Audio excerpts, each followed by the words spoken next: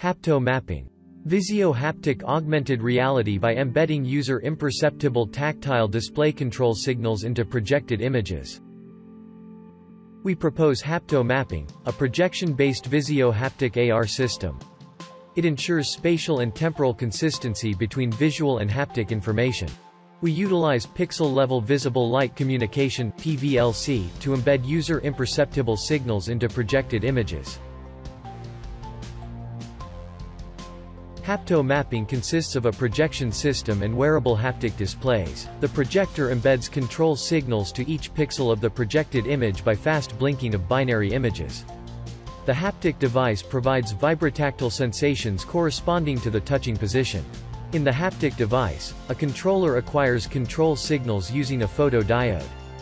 The controller sends a vibration pattern to the actuator according to the received control signals.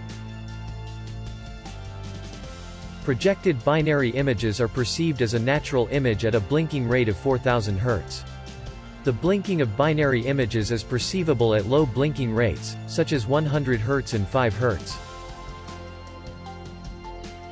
The blinking of binary images become imperceivable at the blinking rate of 4000 Hz. We have developed three types of haptic devices, finger-worn, stylus, and arm-mounted devices.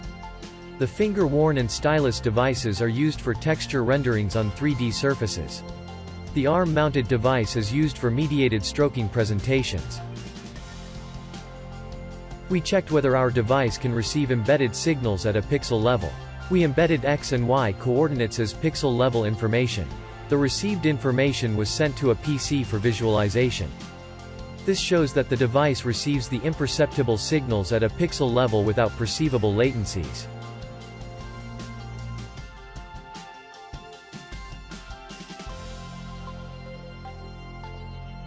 We designed a texture design support system that can present various visuo-haptic textures.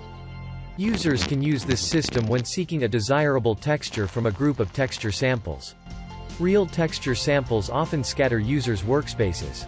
Also, it is not easy for them to test the sample on non-planar surfaces. This system helps the users to test textures on multiple 3D surfaces without scattering real textures on their workspaces. This application is a visual and haptic interactive animal dictionary. Users can not only see graphics of animals but also touch them.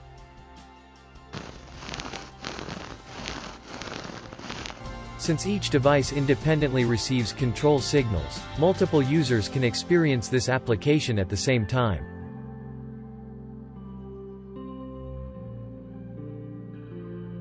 This is an interactive map enhanced with haptic and audio. Users can acquire the information on the map by seeing the map ordinary. They can also get the shape of the aisle by vibration and the name of stores by sounds when scanning the map. We added an audio speaker to the user's wrist to present visuo audio haptic information to users.